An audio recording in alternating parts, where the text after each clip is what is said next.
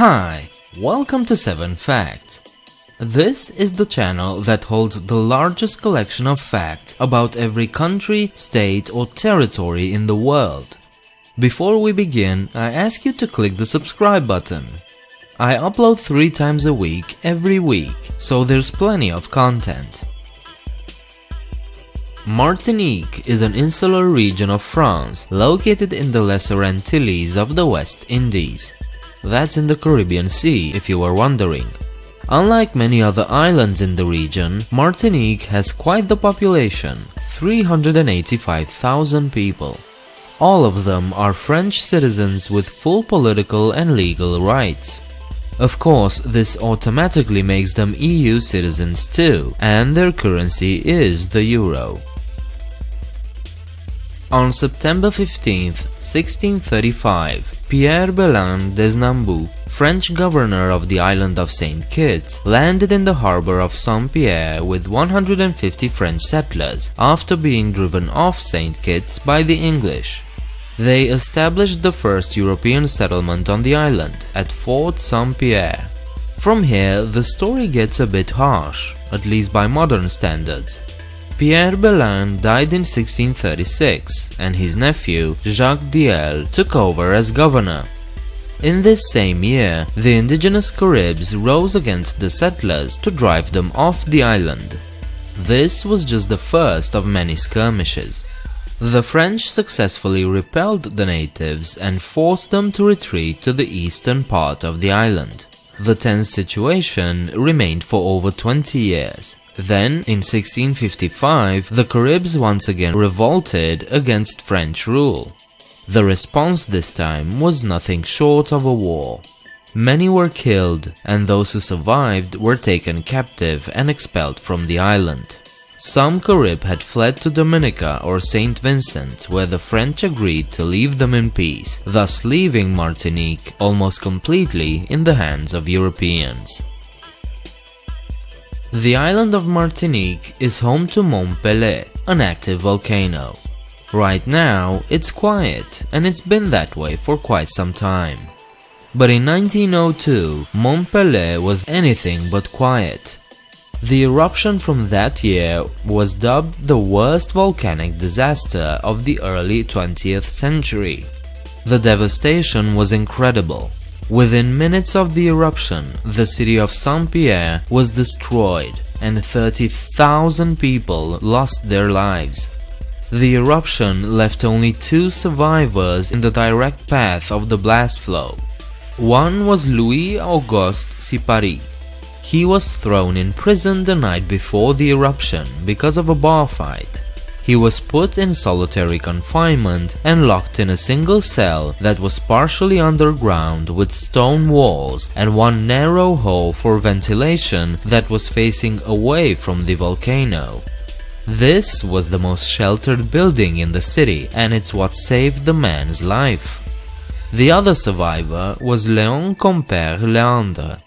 He barely escaped and was badly burned, but in the end managed to run far enough. Two weeks later, he headed to the city of Fort-de-France, when he barely escaped a second death cloud. Eventually, he settled in the village of Morne-Rouge, only to have another cloud pour through on August 30th. He was once again one of only a few that survived. Fort-de-France is the capital of Martinique and one of the major cities of the Caribbean. This city too had its share of disasters, being captured by a British expedition in 1762, partially destroyed by an earthquake in 1839 and devastated by fire in 1890.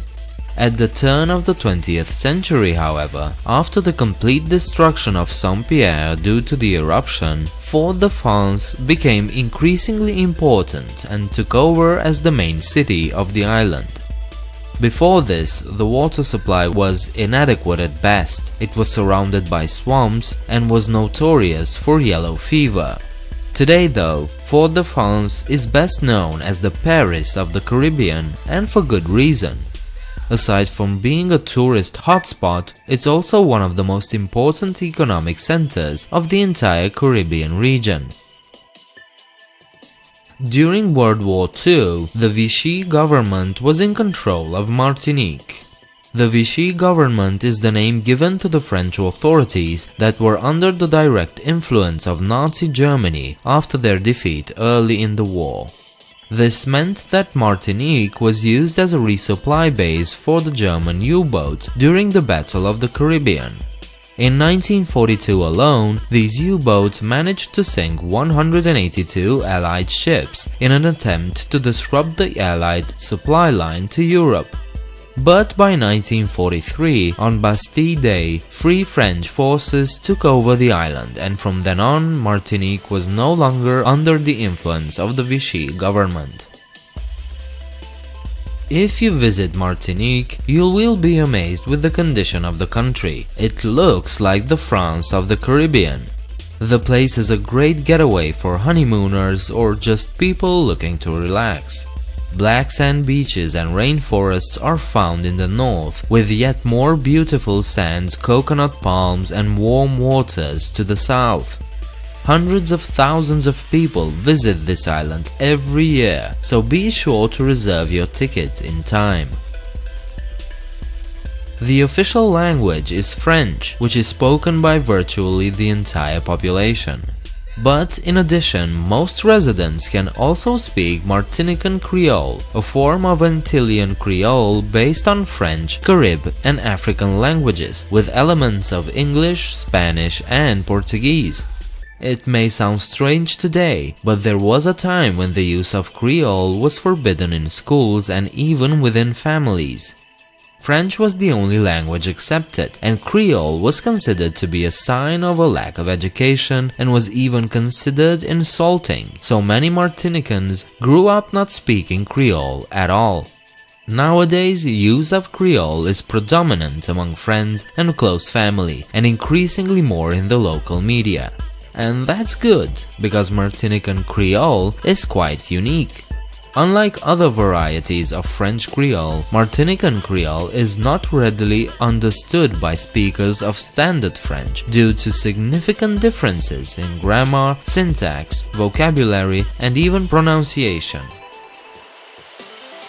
These were 7 facts about Martinique. If you enjoyed the video, please leave a like and subscribe. Share your thoughts downstairs in the comment section and afterwards check me out on Facebook or Twitter. A good way to offer more support to this channel is through Patreon, link in the description. I hope to see you next time. Bye.